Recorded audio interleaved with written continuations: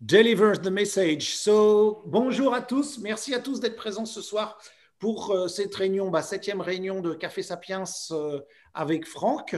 Euh, ces petites réunions se passent toujours de la même manière où on a quelques minutes de mouvement suivi eh d'une présentation sur un thème. Ce soir, le thème c'est lié au stress, la puissance du stress. Méfions-nous des faux tigres. Et puis ensuite, il y aura un petit espace de réponse aux questions. Les réunions dure au maximum une heure. Donc euh, voilà, c'est très informel, mais euh, il y a toute cette partie où, Franck fait sa présentation, c'est toujours passionnant. Mais avant de commencer, ce soir, c'est exceptionnel parce que dans, on est donc le, 7, le 5, pardon, et donc le 9 va sortir officiellement chez tous les bons libraires, comme on dit, le prochain livre de Franck, Paléo Sapiens, qui est pour nous quelque chose d'exceptionnel. Je vais faire un, un podcast et une présentation et une vidéo sur ce livre qui, à mon avis, euh, va toucher énormément de monde, en tout cas, je l'espère en France. C'est un livre exceptionnel. C'est euh, un des livres les plus intelligents, évidemment, que, que j'ai lu. C'est pourquoi j'ai souhaité le traduire. C'est un livre sur la réelle écologie profonde, un livre qui encourage au changement positif de chacun d'entre nous au niveau euh, intellectuel, même plus loin, un peu spirituel, un livre qui nous fait prendre conscience de où on vient, et qu'est-ce qui se passe et comment changer? C'est vraiment pour moi le meilleur livre d'écologie que j'ai jamais lu parce qu'il nous remet en contexte euh, d'un point de vue historique et sur les changements qu'on peut faire. Paléo Sapiens, un paradigme pour l'avenir. Je tiens à dire qu'il y a deux préfaces euh, d'illustres personnes dans ce, pour ce livre qu'on a eu. Une préface du docteur Louis Fouché, ça c'est une première chose, et de Lamia Msellali, qui est la présidente de Sea Shepherd France et coprésidente de Sea Shepherd Global donc euh, l'association, la fondation de Paul Watson. Donc ça, c'est un livre qui a été préfacé par des personnes illustres et on est extrêmement heureux et, fiers de vous présenter ce livre qu'on a reçu de chez l'imprimeur et qui va être disponible en vente partout, euh, libraire ou toutes les plateformes d'achat en ligne à partir du 9 juillet et surtout sur notre site internet ressourcesprimordiales.com. So that's it for the book. We are so happy to uh, in four days now, having the book uh, available in every bookstores in France. Uh, we have quite very nice forwards in it. And so uh, this is the book of the summer. C'est le livre d'été. Everybody is going to read that book this summer. Every newspaper, TV shows are going to talk about it. That's the book of the summer 21. Wonderful. You will all, all, have a blast and we'll change our mind and spirit and uh, society with this book. So this is a how to to change uh, everything. Donc voilà le livre qui changera tout et euh, lisez-le, c'est le livre de l'été, c'est le livre qui va faire parler tout l'été. je blague un peu bien sûr, je prends mes désirs pour des réalités. Merci à toutes les personnes présentes en direct, merci à tous ceux qui sont aussi donc, il y a un certain nombre de personnes qui sont en direct sur euh, Zoom et d'autres en direct sur YouTube. Je ne peux pas interagir avec ceux qui sont sur YouTube parce que je ne peux pas faire les deux à la fois. Mais en tout cas, c'est parti. Frank, that's your turn. You can, uh, you have the screen share uh, stuff. So, uh, no, first we do some movement. Donc, on commence. Do some movement, yes, yes. Wonderful. Okay, well, let's do one movement shape like we've done in the past. And today we'll do the movement shape that comes from the, the martial art of Aikido. Ok, on va, faire, on va faire cinq minutes de mouvement, mais orienté sur un seul mouvement, une seule forme de mouvement, et qui cette fois-ci est issu de l'Aikido. So in, in the world of Aikido, a lot of teachers tell their students to imagine that they're holding a ball like this. And so you make this shape, and the hands can be however you want, but the important thing is to keep some space in the middle. Souvent en Aikido, les profs d'Aikido euh, disent imaginez euh, que vous avez euh, un, un, grand ballon comme ça que vous maintenez, et c'est cette forme qui convient d'avoir pour la pratique euh, du mouvement. Right, so we're going to move, but keep this shape. Very simple. Donc on doit toujours garder cette forme-là, comme si on avait un ballon dans nos bras, et c'est très simple, c'est uniquement ça. So get down in your hips, in your stance, and keep this shape. Ancrez-vous dans les hanches, dans le sol, mais gardez cette forme en permanence.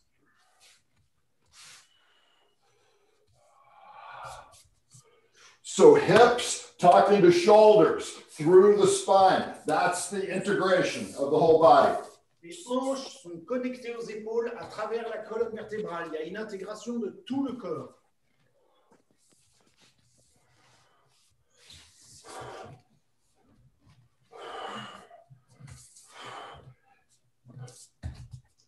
Good. Now fast and strong. Alors, avec puissance et rapidité,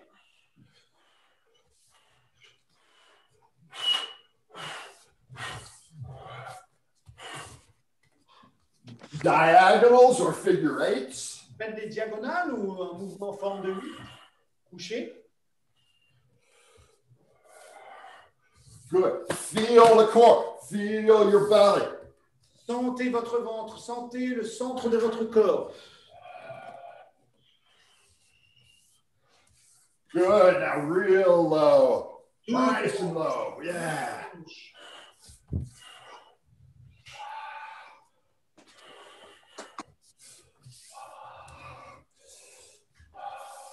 Good. Now very slow. Et maintenant, au contraire, lentement. Feel your legs. Get your legs into this.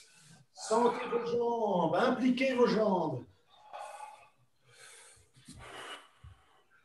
Yeah. Lots of breathing here. Respirez bien.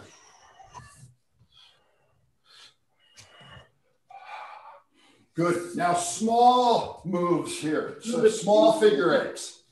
Des tout petits mouvements. And big lazy. Et de grands.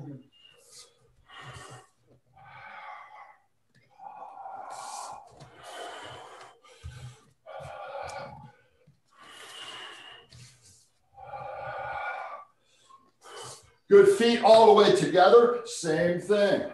Les pieds rassemblés, faites la même chose, les deux pieds collés.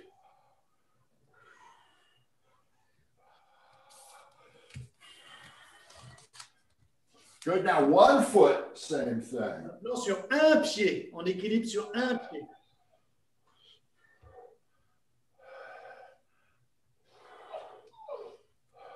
Other foot. Same thing.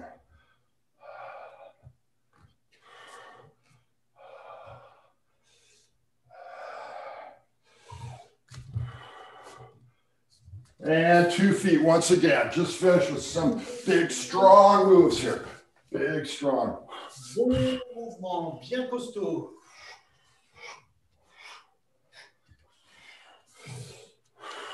And relax.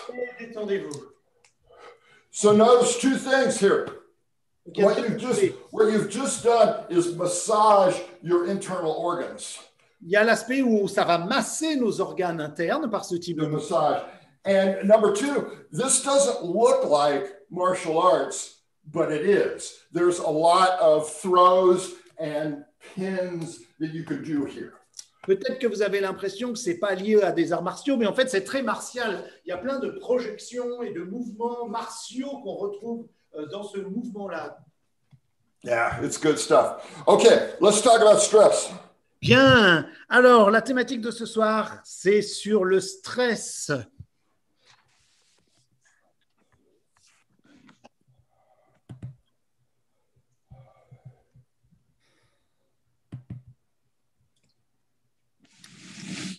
Okay, here we go.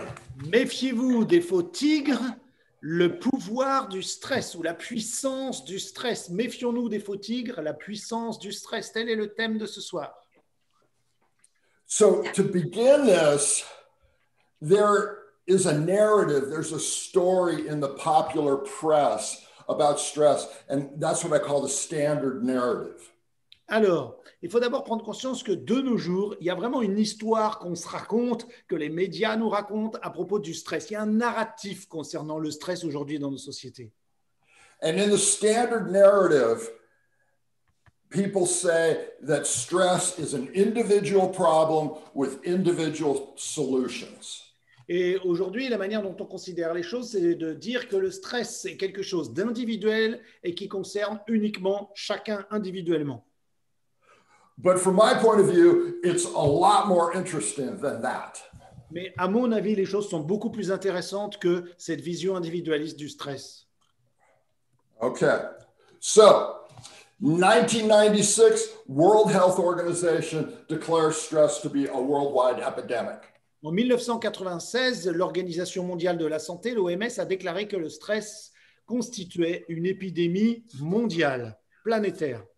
And if it was bad then, it's a thousand times worse now. Et si c'était si mauvais que ça en 96, dites-vous bien que c'est bien pire aujourd'hui.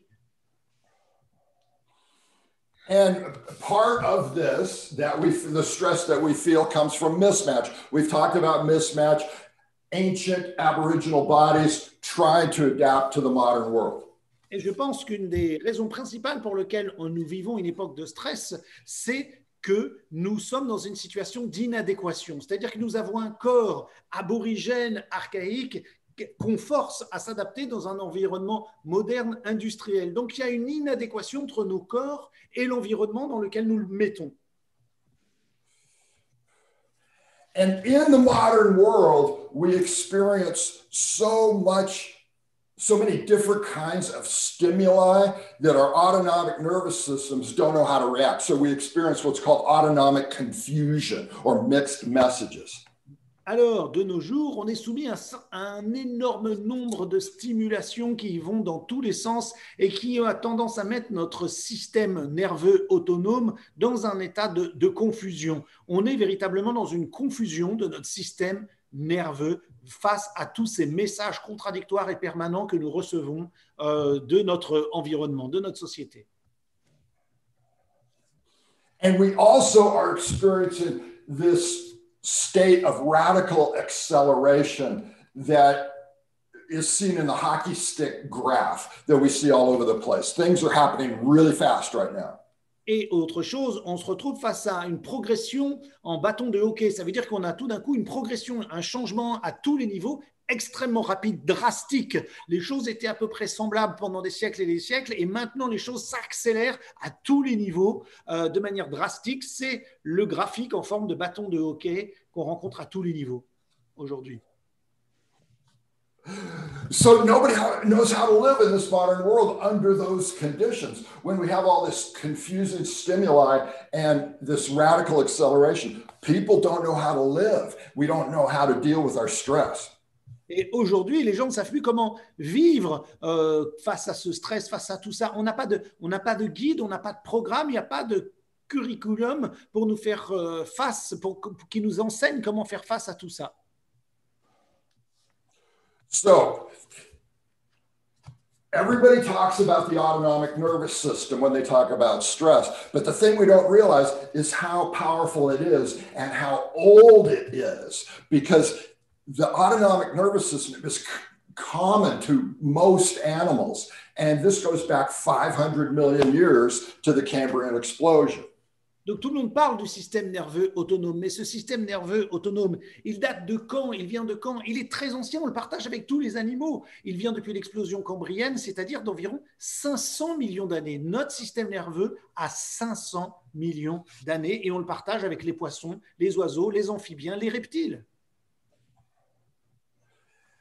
And most of us know that the autonomic nervous system has two branches, the sympathetic and the parasympathetic, and every organ and every tissue in the body is touched by these two branches of the autonomic. Et vous savez que ce système nerveux autonome a deux branches, le système nerveux sympathique et le parasympathique. Et chaque organe du corps sont connectés, tous les organes du corps sont connectés au système nerveux sympathique et parasympathique, avec l'un euh, étant plus dans l'action physique et les situations d'urgence, et l'autre dans la réparation et le repos. And it, some of you will have read Robert Sapolsky's book about stress, and this is the metaphor that he uses. One side, one branch of the autonomic is for emergency use, and the other branch is for long-term rebuilding projects. Robert Sapolsky, dans ses ouvrages, dont je recommande fortement la lecture, euh, parle de, de, ces deux branches du système nerveux autonome comme la branche pour euh, l'urgence, la branche attention, danger, urgence, et l'autre branche qui est euh, travail à long terme, reconstruction, restauration de l'organisme à long terme. Donc on a le sympathique et le parasympathique, le, le système urgence, le système reconstruction à long terme. So it's it's kind of like a teeter totter. You're either in one mode or the other. You're either in emergency mode or you're in long term rebuilding. Mais le système nerveux fonctionne en, en, en tout ou rien. C'est-à-dire, c'est pas on est un peu des deux branches qui s'activent, c'est soit on est en mode urgence, soit on est en mode restauration à long terme, repos, reconstruction à long terme. Do you have this word in French, uh, frenemy? No, no, no, but we can. No, no. So stress is both a friend and an enemy to your life and to your body. So that's the word frenemy in English. On pourrait imaginer dire que le stress est notre euh, en, en euh, ami, en ami, ennemi ami. Il a un côté positif et négatif. C'est notre ami ennemi. Nice. Okay. So it's true to say that stress is good for you, as in outdoor adventure like this. Et, et, il est tout à fait adéquat de dire que le stress, c'est bon pour nous. Par exemple, euh, beaucoup de personnes aiment partir à l'aventure, grimper euh, comme ça de, de hautes euh, falaises, de hautes montagnes. Et là, c'est un stress qu'on va dire positif pour nous. But it's also true to say that stress is bad for you. Mais c'est tout aussi exact de dire que le stress peut être délétère pour nous. And this is the example that blew my mind when I read about it first that when salmon make this great migration from the ocean up inland, they are pumping stress hormones in their bodies, and you can see what it does to their bodies by the time they finish their migration. Et le stress est aussi délétère. D'ailleurs, ça m'a frappé quand j'ai lu un article sur euh, ces saumons qui vont partir de la mer et qui vont remonter tout le fleuve jusqu'à leur lieu de naissance. Eh bien, tout du long, ils sont en état de stress. Le stress va épuiser leur corps et quand ils arrivent à la fin de leur périple, ils sont complètement épuisés, en, très mauvais état, parce qu'ils ont euh, été soumis à du stress euh, des jours et des jours durant. And as in so many things, it follows this inverse U shaped curve. So a little bit of stress is good for you, a little bit more is really good for you, and then you go past the tipping point, and then stress becomes really bad for you. Donc en fait, la manière de considérer les choses, c'est avec cette euh, courbe en U inversée, c'est-à-dire qu'un peu de stress, c'est bon pour nous, un petit peu plus du stress, on est dans la zone verte et c'est encore mieux, mais passer le sommet de la courbe, l'apex de la courbe, les choses deviennent neurotoxiques et négatives pour nous. Et on rentre en état d'abus, de, de, combat, de stress post-traumatique, et ça devient délétère et néfaste pour nous quand euh, il y a trop de stress. C'est la dose qui fait le poison en termes de stress, comme d'ailleurs beaucoup d'autres aspects, beaucoup d'autres choses dans la vie, c'est la dose qui fait le poison. Good. So the art here is to recognize when you are going over the top, when you are passing the tipping point. Donc ici, il y a tout un art à, à percevoir, à connaître. C'est l'art de savoir à quel moment on est au sommet, à l'apex, à quel moment on va basculer du mauvais côté de la, colline. Et ça, c'est très important. And you can read this list, but the two that are interesting here and that might need some explanation anhedonia is simply the loss of pleasure. And neophobia, that's the loss of interest in new things. So, Donc, ici, euh, il y a une liste d'éléments qui nous permettent de reconnaître euh, quand est-ce qu'on approche ou qu'on a dépassé euh, le sommet du bon stress et qu'on commence à être dans du stress délétère. On a une perte de notre enthousiasme, on a une adénonie, ad- anédonie, c'est-à-dire on a une perte du plaisir, on n'éprouve plus de plaisir. On a une néophobie, des néophobies, c'est-à-dire la peur de ce qui est nouveau. Euh, évidemment, on est de plus en plus irritable et impatient. On est de plus en plus euh, intolérant à ce qui est ambigu. Euh, on a des comportements sociaux qui sont perturbés. Et évidemment, on devient de plus en plus sensible à la douleur. Donc tout ça, tous ces éléments nous font dire que, attention, là, mm. j'ai dépassé le point euh, positif du, du- du stress. so if you are a teacher or a trainer or a coach, you may wonder about the stress of your students or your patients. And some people talk about cortisol testing with, with blood or saliva or even earwax now, but you can just use this list to tell how your, your students are doing. Bien sûr, euh, si vous êtes enseignant, coach ou euh, thérapeute, vous pourriez avoir envie d'utiliser des tests modernes et thérapeutiques pour savoir si quelqu'un est stressé, tester son niveau de cortisol euh, dans la salive, dans le sang, ou même maintenant ça se fait, j'ai entendu dire, dans la cire d'oreille. Mais moi, je préfère utiliser tout simplement cette liste, de savoir si les gens se retrouvent dans, dans ces mots, dans ces comportements. À ce moment-là, je sais que le point de dépassement de stress est là. Okay, once again, the inverse U.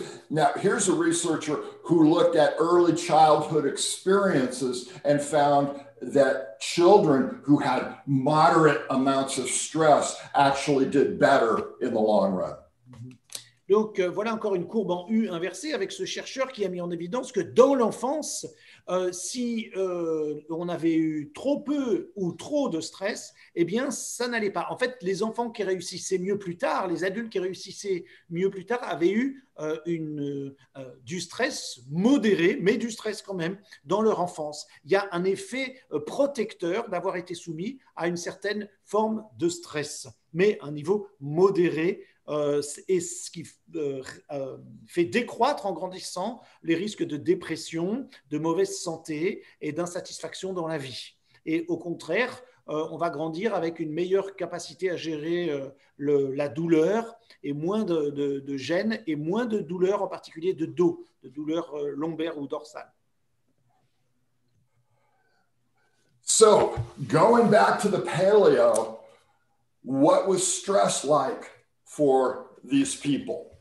Donc revenons au paléolithique, revenons à la période paléo. Comment était, quel stress vivions-nous pendant ces centaines de milliers, voire millions d'années euh, au paléolithique? Quel était l'environnement? Quel était le type de stress que nous rencontrions? And of course, everybody says, well, it's lions and tigers and bears. It's carnivores, it's predators. That's the stress. Alors évidemment, tout le monde répond toujours la même chose. Les lions, les tigres, les ours, les carnivores, c'était le stress de l'époque, c'est eux qui voulaient nous bouffer. And, and this is obvious, but what is what's worth remembering here is that everybody in your tribe would have had the same stress experience at the same time. Everybody's on the same page in terms of their autonomic nervous system. Et, c'est évident, effectivement, euh, nous étions à la merci de ces grands euh, prédateurs, mais ce qu'il est très important de marquer, de noter, c'est que le stress, c'est-à-dire quand le lion arrive ou le tigre ou l'ours qui arrive, le stress est vécu par toute la tribu, par tout le monde simultanément. C'est une expérience collective simultanée, la rencontre du stress. And that's what's different about the modern world because in the modern world, you might be calm and relaxed, and the guy right next to you might be having a full blown stress response, and everybody is having these different experiences at the same time. Et ce n'est plus du tout le cas aujourd'hui. Aujourd'hui, vous pourriez être assis quelque part parfaitement détendu et le type à côté de vous en état de stress intense. Chacun aujourd'hui vit un niveau de stress différent et séparé des autres. So here is paleo living or the living of your domestic dog. The spikes on the graph are stress events. And then, just as with your dog, things go back to normal. And then there's another stress event, and then it goes back to normal. This is normal.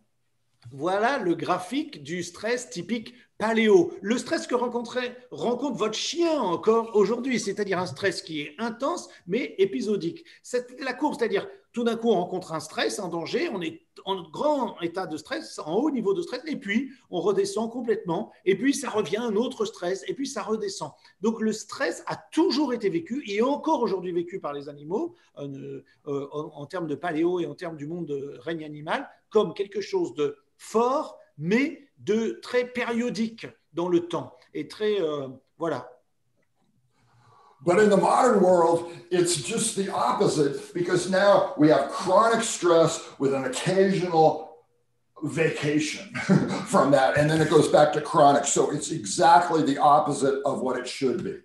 Et cette première vision paléolithique du stress est totalement normale. C'est la, c'est la manière normale d'être soumis au stress, un, un stress fort et intense, mais euh, ensuite, on redescend euh, et à, l'état sans stress la plupart du temps. Or, aujourd'hui, dans le monde moderne, le stress, c'est chronique. On est tout le temps, on est tout le temps, tout le temps, tout le temps en état de stress. Et de temps en temps, il y a des vacances et du repos dans lequel on n'est pas en stress. Donc, la norme, c'est de ne pas être en stress et d'avoir un stress fort, mais euh, court, intense. Alors qu'aujourd'hui, la norme, c'est d'être tout le temps, tout le temps stressé avec de temps en temps un peu de détente, de repos et de vacances. Et donc, c'est complètement inversé et complètement anormal.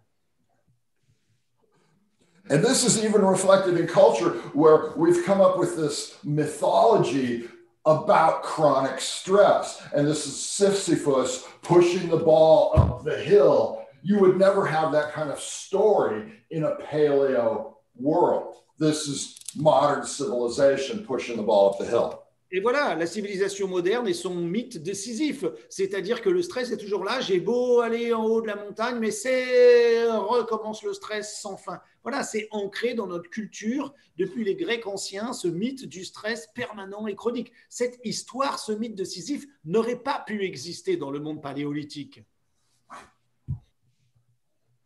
And when we're under stress, we have uh, under chronic stress, we have this siege mentality that it feels like the whole world is attacking us. And so we have to build a fortress.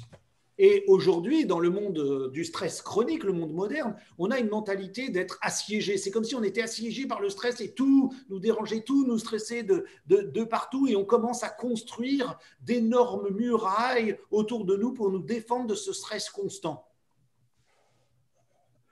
And if it goes on long enough, we get a condition called learned helplessness, where we just assume failure. We assume that we are powerless.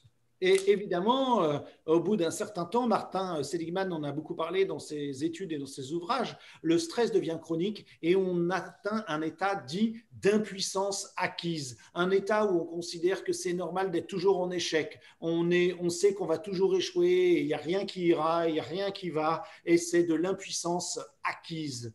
C'est ça. Que... And, and this is not just humans, this is all animals have this characteristic response. Et bien sûr, cette réaction n'est pas que chez les humains. Si on stresse en permanence un animal, il réagira de la même manière, il s'attendra tout le temps au pire et il, euh, euh, il sera en situation d'échec constante. You may have heard about the, uh, the event at the Romanian orphanage where little children were held in total isolation for years, and this is what happened to them. Euh, vous connaissez sans doute tous euh, cette, euh, cette, histoire terrible des atrocités suite en Roumanie avec ces énormes orphelinats. en 1989, hein, ça avait été observé, des 170 000 enfants qui avaient été isolés, abandonnés en orphelinat suite aux atrocités qui sont passées en Roumanie. Et donc, voilà ce qui s'est passé. On les a isolés. Ces enfants étaient isolés dans des orphelinats, personne pour leur parler, personne pour s'occuper d'eux. Ils ont donc été en situation de stress chronique. Ils ont tous développer un déficit de myélinisation au niveau de leur cerveau qui a généré chez quasiment tous ces enfants des graves problèmes d'apprentissage et des incapacités à fonctionner normalement au niveau social. So, uh, if you could look inside the brain, this is what chronic stress will do. You've got the dendritic arbor, which looks like trees. When you put too much cortisol on it, this is what happens. You lose connectivity.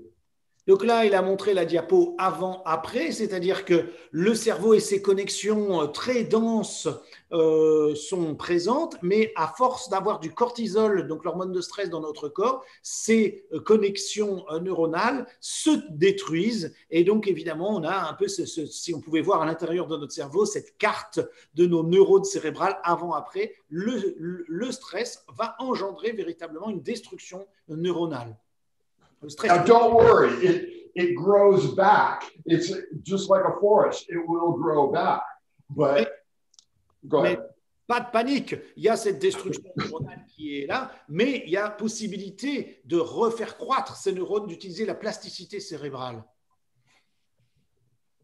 Okay, I'm going to move on to some of these things. Okay, here are some of the effects that we experience with chronic stress. This one here, stress impairs us from seeing the big picture over time. Et ce qui se passe quand on est soumis au stress, nous dit euh, certaines études scientifiques qui ont été publiées, c'est que le stress nous rend incapables d'avoir une vision élargie des choses. Et ça, c'est très important. On ne voit plus la vue d'ensemble, la globalité, le contexte. People who are under chronic stress sometimes fall into magical thinking and denial. Et très souvent, quand on est soumis au stress chronique, on commence à avoir une pensée un peu magique et on rentre en déni par rapport aux choses. Voilà, on, on ça simplifie un peu tout. Voilà. And of course, we all do this take a molehill and make a mountain out of it. That's to turn little things into really big, bad, horrible things. Et bien sûr, on se met à voir euh, simple petite colline comme une grande montagne. Voilà, on, fait euh, d'une goutte d'eau euh, un océan. Et donc, évidemment, on n'arrive plus à, gérer les choses de manière proportionnelle à ce qui se passe réellement. Le stress nous a atteint euh, avec sa chronicité on n'a plus cette vision d'ensemble des choses. And the other word for this, at least in English, catastrophizing, make something small and turn it into a catastrophe. Et donc, on, on rentre dans le catastrophisme, tout simplement. Now, this is the one that I find the most interesting because when people are under chronic stress, they tend to revert to what's familiar. Alors, quand on est Oh, okay. Can you say it again? You you you tend to what? Sorry, Paul. You, you, you tend to fall back on what's familiar to you. Ok, ok. Et donc, quand on est soumis à du stress chronique, ce qui a tendance à se passer, c'est qu'on retourne toujours vers le familier, vers ce qui nous est familier. Le stress nous ramène toujours vers le familier, au statu quo, à ce qui est notre assurance, nos habitudes culturelles, à l'inertie. And this is really important right now at this moment in history because people are feeling so much stress. And I think what happens is a lot of people just go back to what they know the same books, the same stories, the same food, the same people, the same stuff. And they, they hunker down in what's familiar. Et donc, c'est ce qu'on voit beaucoup aujourd'hui. Comme il y a beaucoup de stress, qu'est-ce que font les gens? Ils ont tendance toujours à rester dans ce qui est connu pour eux. Ils revoient les mêmes films, ils relisent les mêmes livres, ils sont avec les mêmes gens. On reste dans, la même chose et on ne s'ouvre pas à d'autres choses. Le stress nous referme sur nous-mêmes et sur ce qu'on connaît déjà. Another thing to, to remember when you're working with people is that the stress response is not balanced, it's not symmetrical. Bad events are stronger than good events. We react more strongly to, uh, dangerous things than to good things. Donc, ce qu'il faut savoir par rapport au stress, c'est que du coup, on, on, commence à avoir un biais cognitif de négativité. On voit le négatif partout, le mal partout. On, ne voit plus l'équilibre euh, entre les choses. On a toujours tendance à voir les choses qui ne vont pas bien et euh, on va renforcer le, une vision négative des choses. The reason there's a picture of, uh, of a gun is that uh, the, the stress response system is on a hair trigger, you might say. Mhm.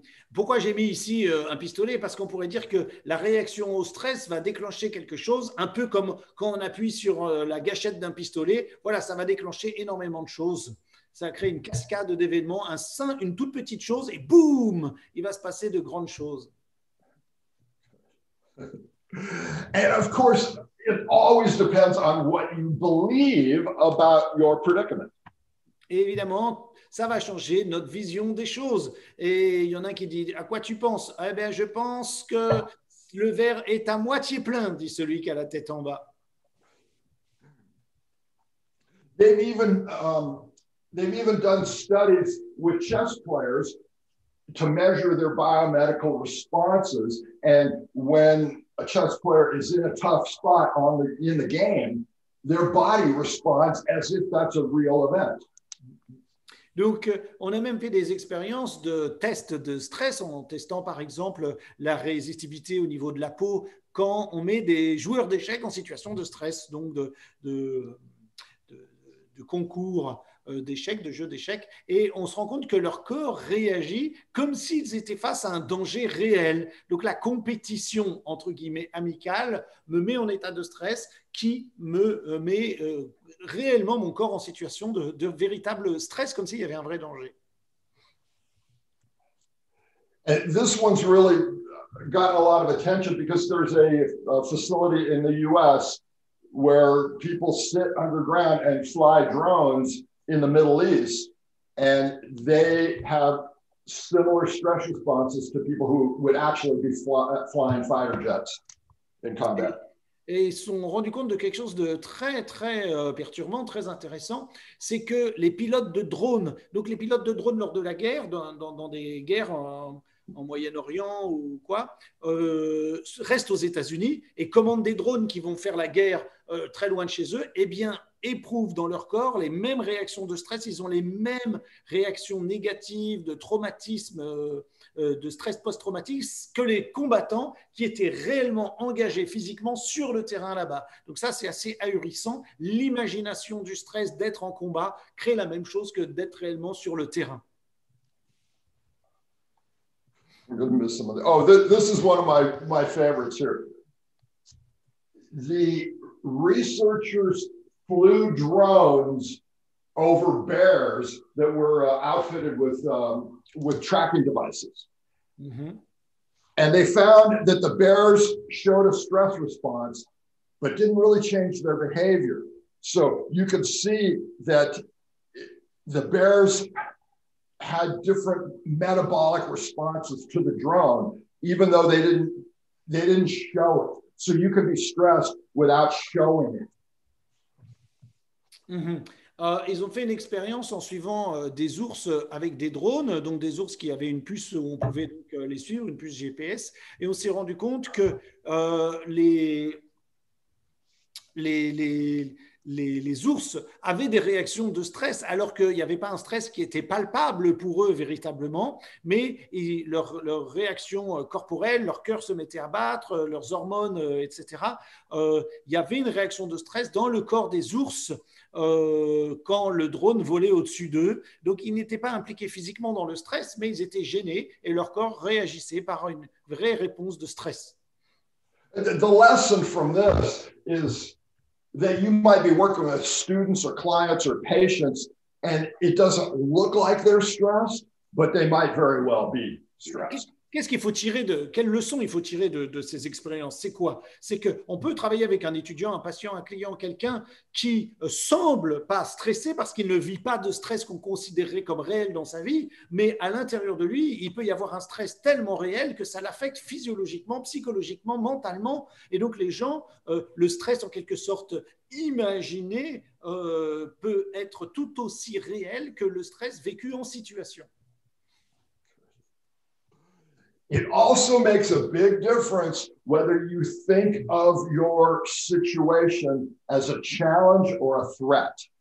Et donc évidemment, les choses, alors, les choses peuvent être très différentes pour nous selon qu'on visualise, qu'on considère la situation comme étant un défi ou comme étant une menace. Et là, tout à coup, ça change tout. Notre vision du stress, défi ou menace, va tout changer au niveau physiologique, psychologique. So this woman at Yale University put people in the laboratory and she's able to control whether they are feeling challenge or threat and look at the uh, their, their metabolic responses and you can see some of those there.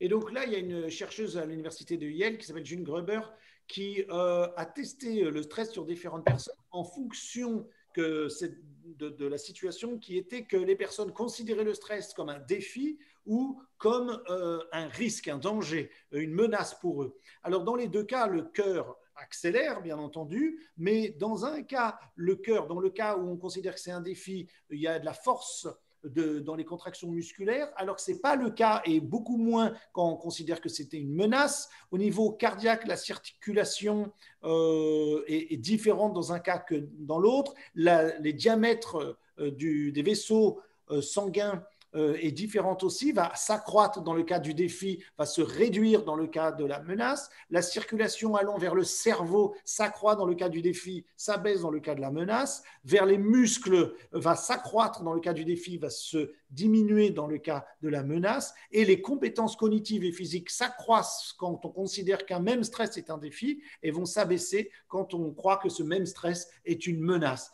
Donc vous voyez, euh, la considération qu'on a du stress modifie réellement nos paramètres biochimiques euh, en nous.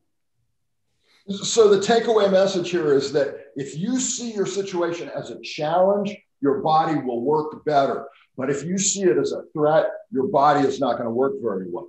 Donc, qu'est-ce qu'il faut retirer de cela? La conclusion, c'est considérons considérons les stress qui nous arrivent comme des défis à surmonter. À ce moment-là, notre corps sera beaucoup plus efficace que si on voit le stress comme une menace. Okay, um, why don't you just read this? Les gens sont beaucoup plus propices à activer une réaction de stress.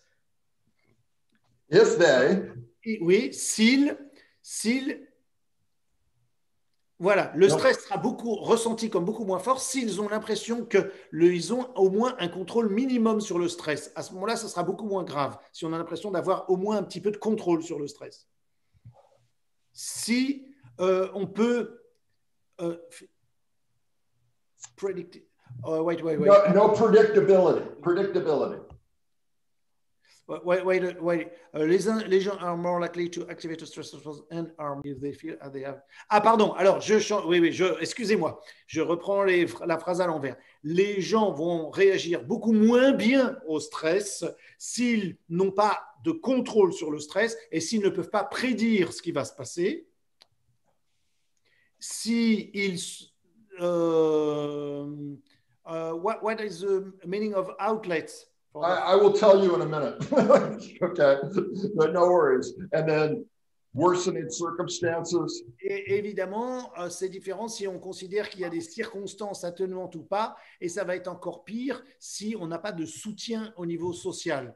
Euh, il m'a pris le cours avec une traduction qui j'avais pas prévue à l'avance, c'est un texte qu'il m'avait pas envoyé avant, donc euh, voilà, désolé.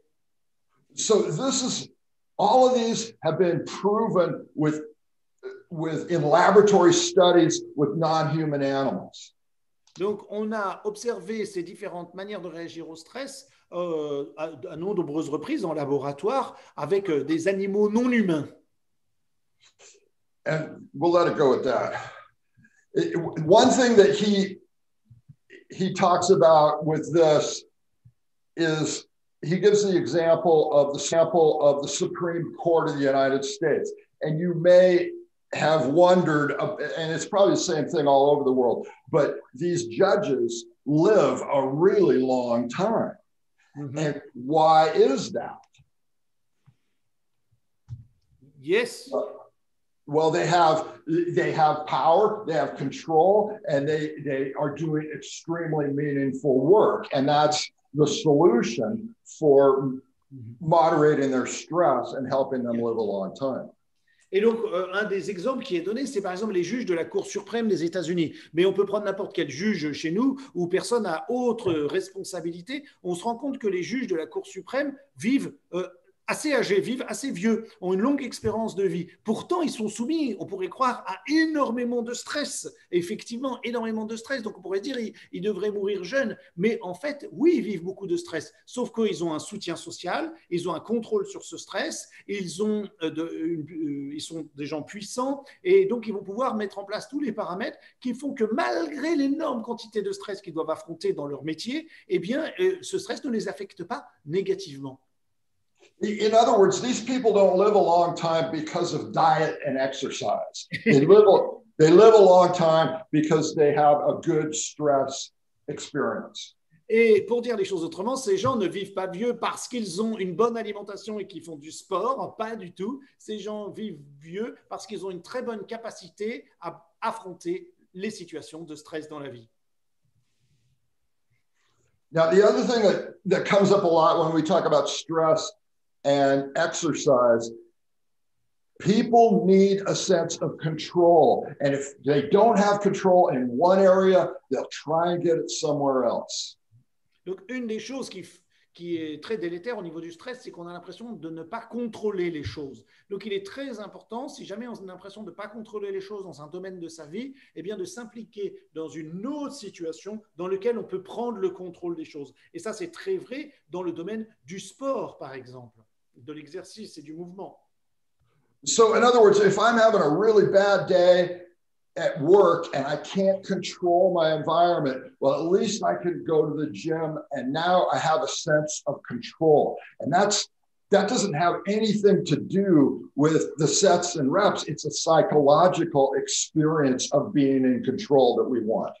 Et donc, voilà pour moi une des explications pour, quelle, pour laquelle il est très important de faire du sport. Admettons que vous, euh, que vous ayez une mauvaise journée au boulot, vous ne pouvez rien contrôler, le stress vous abrutit en quelque sorte eh bien, vous pouvez le soir aller faire de la gym. Et à la gym, vous allez être en contrôle des choses. Et je pense que plus que le nombre de répétitions qu'on fait ou le temps qu'on passe à la salle de gym, ce qui va être important, c'est pas tant cet effet physiologique que l'effet psychologique du contrôle du stress que l'on a dans le cadre de la salle de gym, du cours de gym, et qui fait qu'on redevient maître de la situation. So, for, for teachers and coaches and trainers and health professionals, it's all the same thing. We've heard this, this narrative in the popular press, and the narrative tells us try and make stress go away.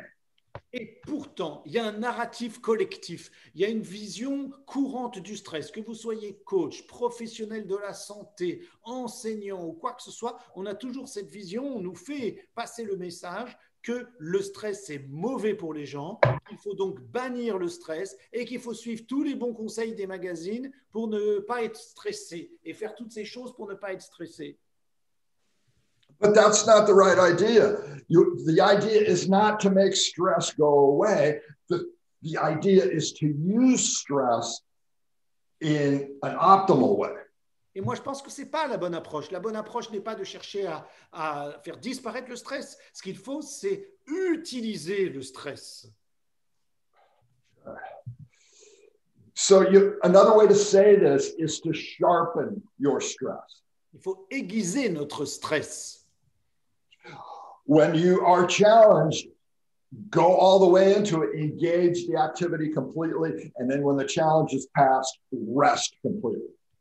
Quand vous êtes mis au défi, quand il y a une situation difficile que vous rencontrez, engagez-vous à fond, allez-y à fond. Et puis quand le défi, quand l'épreuve est finie, eh bien, reposez-vous complètement. And here, this is what's really interesting about stress. And that's the two, there's two main strategies, and they both work. You can find ways to increase your control in the world or you can also give up control. And both of those have been shown to work.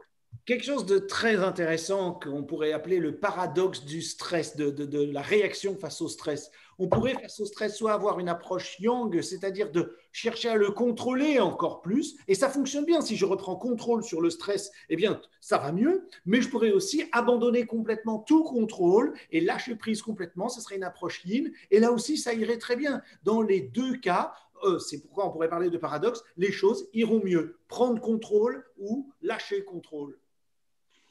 So we know how to do this, right? We, we know how to increase control. We have, um, you plan your day, you plan your week, you plan your year with a calendar. You have better tools, better machines. You, you learn how things work, and then you have more control and you feel better.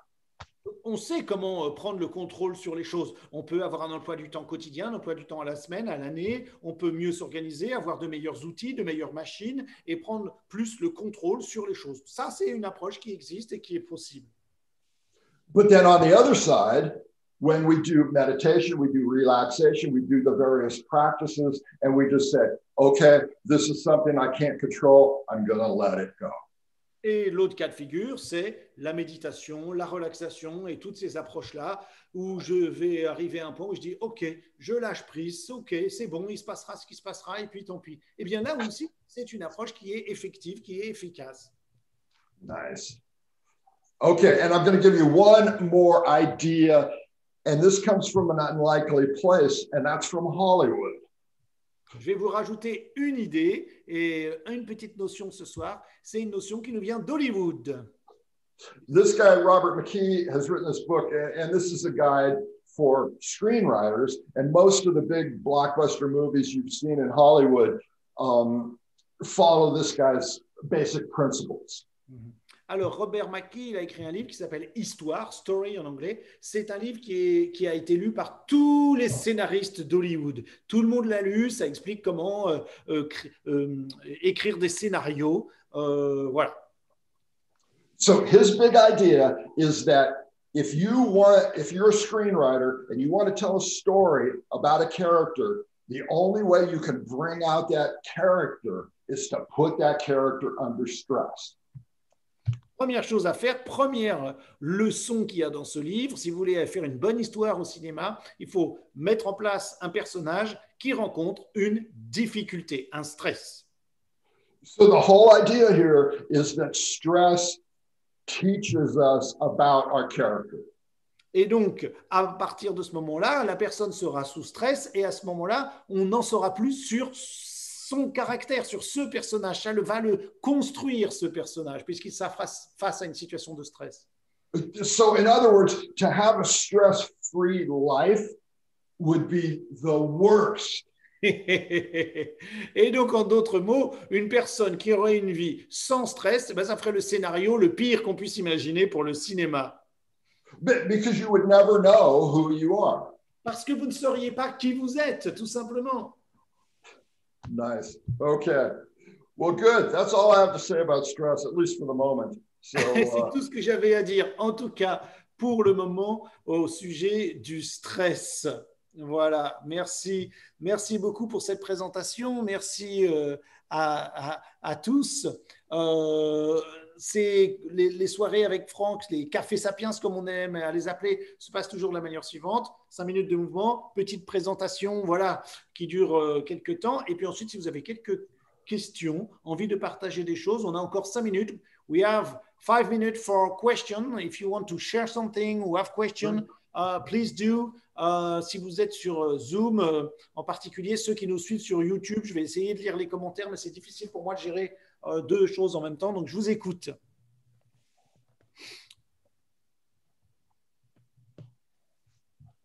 Sonia est très contente, comme chaque soir. Merci, Sonia. Euh, Quelqu'un dit euh, euh, que sur YouTube, je suis en cours du livre L'animal exubérant, dit Tony, et j'en suis justement au chapitre sur ce thème. Super. Elena, hello from Romania. Elena is following us from Romania. Oh, great. Merci beaucoup, Elena, de nous suivre de là-bas. Merci. Euh, Broté, merci Marthe, merci Pierre d'être là comme toujours. Euh, merci beaucoup Marianne pour ces bons commentaires. Uh, qui aiment beaucoup les soirées. Lots of people say thank you to you, Frank. They are following uh, you every month, uh, either on live or, or on replay. So oh, good. I'm very happy with it. Um, yeah, thank you, everyone. Donc, euh, Franck a beaucoup à dire sur le stress, effectivement, dans, son, dans, tous ses livres, il en parle beaucoup. Il a écrit euh, le livre L'animal exubérant, où il parle du, du stress un petit peu, euh, Paléo Sapiens, où on en parle plus d'un point de vue sociétal. Et puis, il, il, a fini un livre qui s'appelle, qui est justement sur le sujet du stress, que j'aime beaucoup, euh, qu'on traduira en français sous le thème L'art du stress. Il s'appelait comme ça dans sa première édition américaine. Et puis, il vient de le réécrire entièrement. Et il s'appelle maintenant en anglais Méfiez-vous des faux tigres, la puissance du stress. Et donc, c'est aussi un très, très beau titre. Euh, et je trouve ça très intéressant. Ce qui est très intéressant dans l'approche de Franck par rapport au stress, et comme pour tout d'ailleurs dans ce qu'il propose, c'est qu'on a des éléments concrets. Euh, euh, c'est pas juste des idées philosophiques, c'est des moyens de changer, d'appréhender les choses différemment et c'est souvent un, un, une vision différente de ce qu'on nous propose habituellement. Yeah. I, I was just saying a few words about next book. We are just launching that one, but uh, I know another book is following. Beware, false tigers. Uh, yeah, yeah. The art of stress. Uh, the book, the Power of Stress, or uh, the former title was uh, Stress Craft, l'art mm-hmm. du stress. Mm-hmm. Voilà. On, J'adore le parcours historique, tant mieux, tant mieux Sonia. C'est ça qui est très intéressant. Je pense qu'aujourd'hui, on est souvent bloqué dans des tas de situations parce qu'on a nos visions de l'homme moderne. L'homme, nous sommes tous façonnés, on est nés tous au XXe siècle, mais on est façonnés par notre regard 20e, 21e siècle et on ne pense qu'il n'y a que ça qui est vrai, que ça qui existe. Et le fait d'avoir cette vision historique de milliers, voire millions d'années en arrière nous permet de comprendre comment, est, comment sont construits nos corps, nos esprits, euh, nos cerveaux euh, par rapport à ce qui nous arrive aujourd'hui et qu'effectivement on est dans cette crosse de hockey qui va tellement vite que nos corps ne sont pas adaptés à ce qui se passe aujourd'hui. Donc d'avoir cette petite vision de retour en arrière est très intéressante, de replacer les choses dans leur contexte nous permet de mieux comprendre ce qu'on vit aujourd'hui et de, pouvoir... Euh, agir différemment. Merci à tous. effectivement, le stress est très actuel, dit Marc, en ce moment. Effectivement, la planète entière subit le stress, effectivement. Thank you, everyone. Thank you all. We are very happy to uh, be with Frank uh, once a month. Prochaine séance, eh bien, le premier lundi du mois d'août, puisque je vous rappelle que ces séances de Café Sapiens ont euh, lieu tous les premiers lundis de chaque mois à 20h. Et vous pouvez retrouver toutes les séances passées sur notre chaîne YouTube, mais surtout sur le site Paléo Sapiens.